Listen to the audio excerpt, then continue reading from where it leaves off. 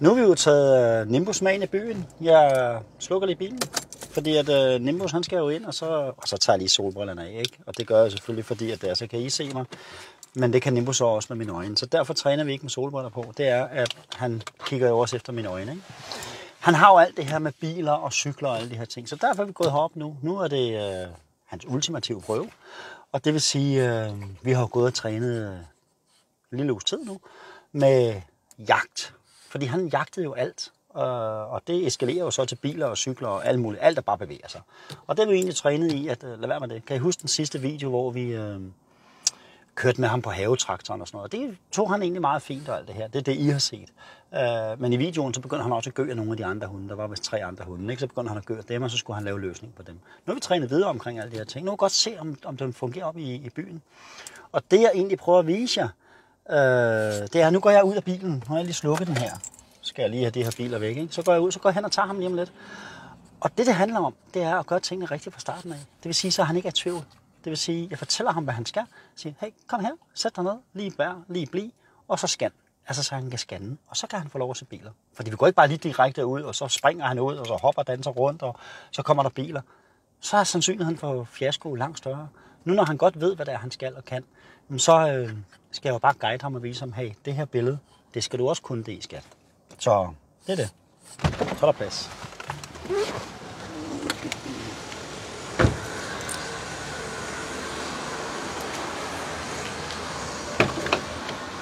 Så det jeg gør, I kan se, at jeg åbner kun døren en lille bitte smule der. Går ind, holder ham her, sådan så det er, at han ikke springer ud, ikke? Bliv. Sådan der. Han har allerede snor på, det gjorde vi på, på vejen hjem. Bliv. Sådan der. Lige tager pusten af ham.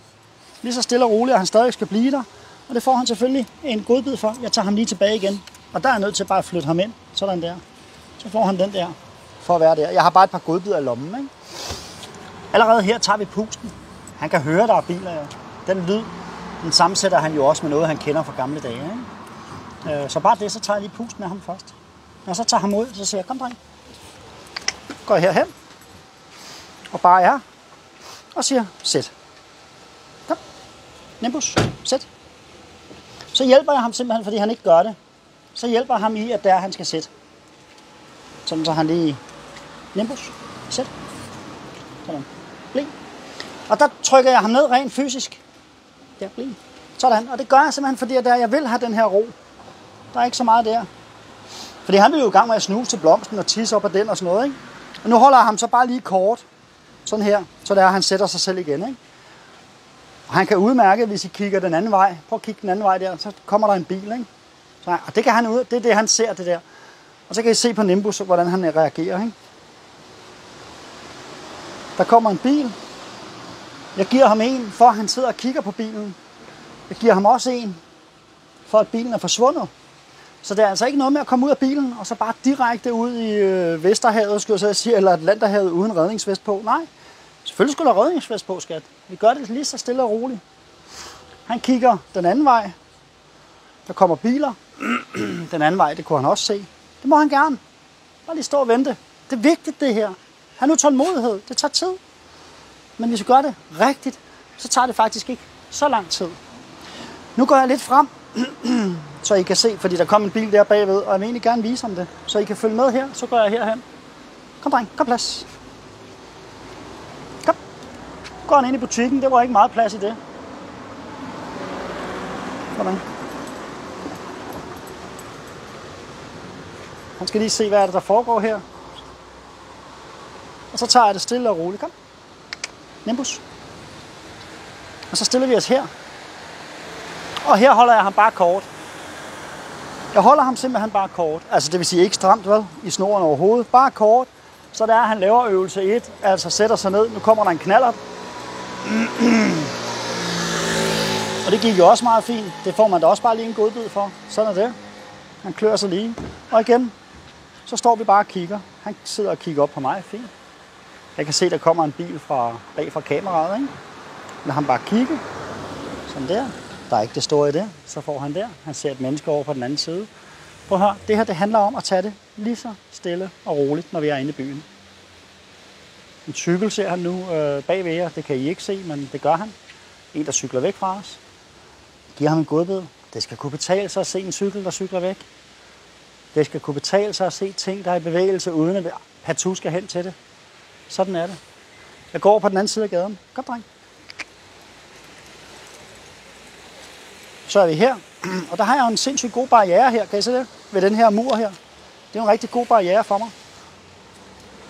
Og jeg står egentlig kort med ham der igen. Han sætter sig og kigger på bilen og bare får for det. Og det, det der er det væsentlige nu, det er, at i stedet for, at jeg pisker rundt i hele byen, fordi det er ikke der, han er lige nu. Og det skal vi heller ikke, fordi det handler ikke om at komme ud og gå en tur og skal tisse og prutte, og han skal have en masse dufte. Jo, han skal have duften. Kan se, går han frem, så holder jeg ham bare lige. Altså, det er ikke, du kan ikke komme frem, skat. Du skal egentlig bare sidde her, bare lige være her i øvelse 1. Og det er det, vi glemmer, når det er, at, at vi siger, hey, det hele det fungerer hjemme i stuen, det fungerer hjemme i haven, men lige så snart jeg kommer ud med trikten, så virker det ikke. Nej, men det er fordi, I ikke tager den tid at gå baglæns i træningen til at være lige så tålmodig, som det fungerede derhjemme i stuen og hjemme i haven. Så den her stimuli, det er jo stort. Nu kommer der en bil mere her. Vi kigger, hvad han gør. Det vigtige er, at ikke holder den stramt, altså snoren. Sådan der, han kigger på den, det er fint, det bevæger sig alle tider. Værsgo, skat, det får vi en for. Som sagt, det der er det væsentlige nu, er det godt, dreng. Du gør det godt, skat. Ja, du gør det godt. Du gør det godt. Øhm, det der er det væsentlige nu, det er ikke, at vi pisker rundt i byen. Det er bare, at vi er her. Jeg kunne finde på at gå hen og sætte mig på en bænk herhenne, så han ser øh, cykler, han ser biler, han ser, der er sådan en elskuter der, eller sådan et, du ved, sådan en, hvad hedder sådan en, der ikke kører hurtigt med ældre mennesker på, ikke? Jeg kan sgu ikke huske, hvad det hedder. Det er også lige meget. Han skal bare se det her. Andre mennesker over på den anden side af gaden, der egentlig også bare er der, ikke? Så øh, sådan der. Og han får sine godbidder, lige så stille og roligt. Jeg giver ham trygheden i, hvad er det her? Igen, det der kunne lige så godt være en bold eller en pind, nu er det bare nogle biler. Han kigger. Interessant. Eller interesseret hedder det. Øh, men vi tager det sådan her. Lad ham gerne se det. Han må ikke stå i tryk nu. Det er vigtigt, at han ikke står i tryk. For der er ingen læring i det.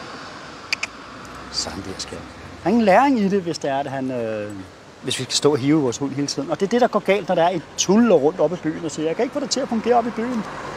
Nej, der kommer et lille snært af noget. Skal jeg lige gå efter den? Nej, det skal du ikke, skal. Og jeg korrigerer ham ikke. Jeg siger ikke nej og alle mulige andre ting. Der holder jeg, fordi jeg vil ikke have, at det er, at han går ud på vejen. Vel? Så jeg holder ham bare.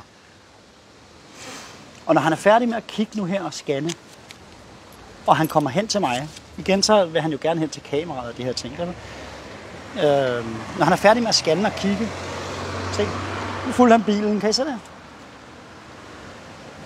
Så næste skridt, det er, at jeg gerne vil have, at, det er, at han kommer hen til mig af sig selv. Altså, han står og siger, ah, der er en bil, der bevæger sig. Der kommer en til. Og jeg er ligeglad, jeg holder ham bare, altså som, som i det her. Han har ikke særlig meget slæk. Han har ikke særlig meget slæk i snoren, kan I se. Det er 5-8 cm, ikke? Øhm. Nu skal jeg sige, nu står den i tryk. Ja, men det er hans valg, at han er gået derfrem. Og det må han jo selv om. Øh, jeg bliver bare stående. Sådan, så er der ikke tryk på mere, det kan jeg jo mærke. Bilerne er gået væk, kørt væk, kommer en cykel. Sådan der, ny bil. Han sætter sig ved siden af mig. Bum. En hovser godbid, altså sådan en surprise godbid. det kan man få en for. Så jeg vil gerne have, at det er, at han laver løsningerne selv. Nu vil han jo gerne hen til kameramanden, ikke? fordi det er jo også en, han kender. Ikke? Men øh, det er ikke en mulighed. Du skal egentlig bare være hos mig. Jeg skal nok passe på dig, skat. Hvordan det er. Så jeg skal bare sidde og se alle de her ting.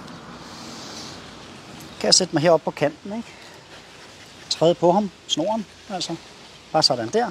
Og vi skal ikke stå her for længe, fordi nu står vi i solen, og det er rigtig varmt i dag, så vi skal over i skyggen også at være, ikke? Så, men det er sindstilstanden igen, at det er, at vi skal, når han, når han falder ned, når han har den her... Så det der, han gør, det, det, det er simpelthen fordi, det er varmt, ikke? Men prøv at se, hvor vigtigt det er, at det er, at de, øh, de selv får lov at lave løsningerne. Så han kigger efter og siger, ah, skal jeg gøre det, der jeg gjorde i gamle dage? Det giver ikke noget. Det, der giver noget, det er at lade den være. Ikke?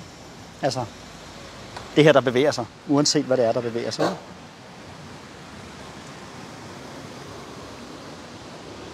Igen, han kigger. Hvad sker der? Der kommer en mand ud af bilen. Fint. Det er okay at kigge på det. Det, det er jo ikke sådan, at det er, at man ikke må se, hvad der foregår. Det må man jo gerne, når man også er hund. Så man kan blive klogere på, hvad er det egentlig, det går ud på. Og så bliver de jo, får de jo mere og mere knowledge og know-how ind i hovedet, og siger, at det er bare det. Altså igen, vi gør alting til ingenting. Også jagten, også det her med at, at, at løbe efter alt muligt. Ikke? Jeg skal bare se, lige snart han vender sig om til mig og, og, og henvender sig til mig igen, så får han den her surprise godbid, ligesom, værsgo skat, fordi du gjorde, fordi du gør det, jeg godt jeg ønsker. Ikke? Men bare nødt til at vente på det en gang imellem. Og der er vi nødt til at stå her og egentlig bare være. Og det tager den tid, det tager. Gen en bil. Det tager den tid, det tager. Og den, der har den længste tålmodighed, og også den, der får det, de gerne vil have. Altså, jeg har en længere tålmodighed, end han har. Så jeg får det, jeg gerne vil have. Og han finder ud af, at det faktisk er en federe løsning. Det der med at komme tilbage til mig, og enten sætte sig ved siden af mig, eller kigge op på mig. Ikke? Det er som den der, ikke? Værsgo, skat. Stille og roligt. Det kan altså betale sig at kigge på mig. Det er øvelse 3, vi er ude i. Den der med, nå ja, det er rigtig kontakten. Hvem er det, der sætter gang i ting? Det er den der tobenet der, der, der har snoren i den anden ende. Ikke?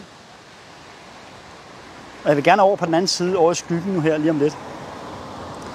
Men øh, det kan jeg først gøre, når det er, at han igen kommer hen til mig. Ikke? Så nu kommer en stor varebil. Sådan der. Det var fint. Det gjorde han godt. Den kører langsomt, sætter farten ned. Det kigger han selvfølgelig efter, han skifter gear på en sjov måde.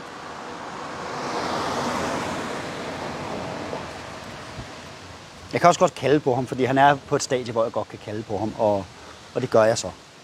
Nimbus. Tæt. For det, og det gør jeg simpelthen nu, fordi at der jeg gerne vil over på den anden side af vejen øh, og stå herhenne i skyggen, ikke? Så han lige får det her i stedet for. Nimbus, kom.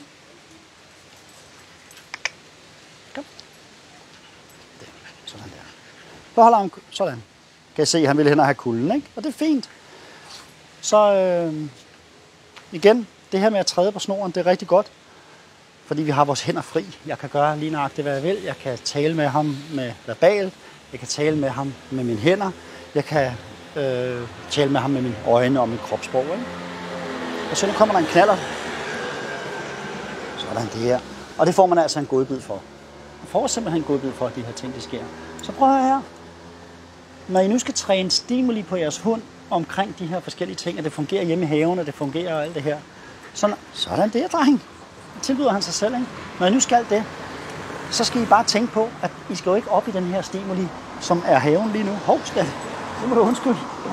Kom. Sæt. Nimbus. Sæt. Sådan. Så skal vi jo ikke rundt og piske rundt i byen, og I skal ikke træne det, når der er, I får brug for det. I skal træne det til, at vi kan bruge det. Så vi skal bruge tiden på det. Husk det. Det er rigtig vigtigt. Så øh, god træning til jer andre. Jeg kommer ikke til at piske rundt i byen. Jeg træner med ham her lige så stille og roligt.